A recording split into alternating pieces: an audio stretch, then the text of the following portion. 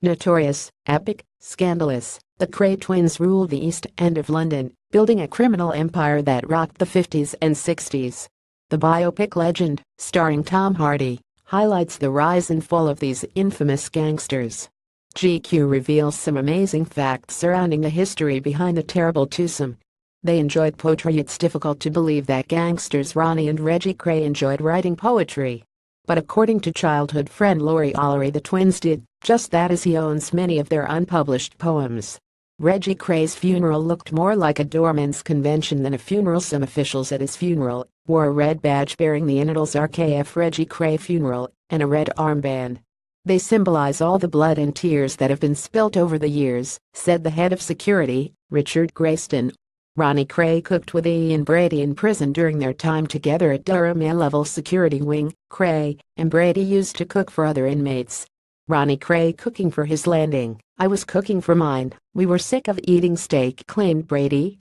They were imprisoned in the Tower of London, not after their 1968 arrest, but way back in 1952.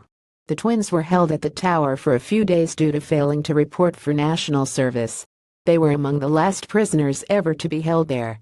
The best Tom Hardy blog out there Lucian Freud owed the Krays money Freud racked up £500,000 in gambling debts to the Krays. Lucian great at painting, ropey with cards. At one point Freud cancelled an exhibition in case the Krays got wind and demanded their cash. Reggie Kray was nearly a professional boxer Pa photos The twins were keen boxers in their teen years inspired by their granddad Jimmy Cannonball Lee.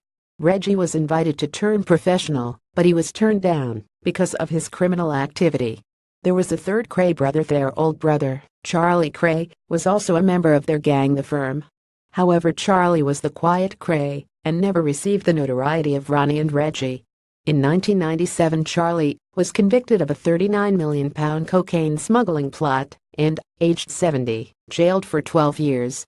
Both brothers were rumored to be bisexual Pa photos The five worst moments from Kingsman The Golden Circle Ronnie Kray openly, Reggie less so.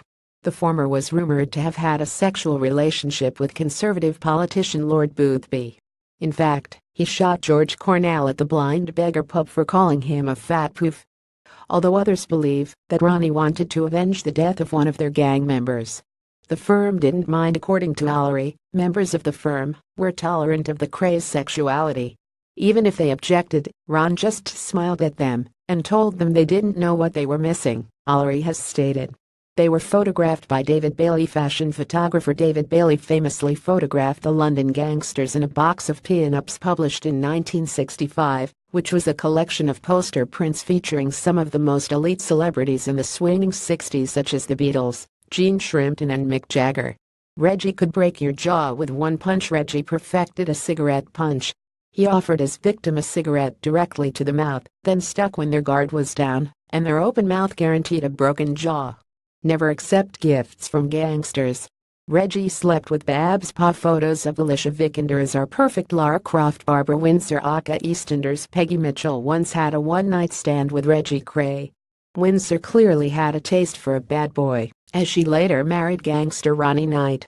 Frank Sinatra hired Kray Muscle in 1985. Frank Sinatra was said to have hired 18 bodyguards from Krayleigh Enterprises, which was the Kray twins' protection company. They were imprisoned in the most haunted prison in the Uth Krays were imprisoned in Shepton Mallet Prison, Britain's oldest prison, in the 1950s, after going AWOL from the National Service.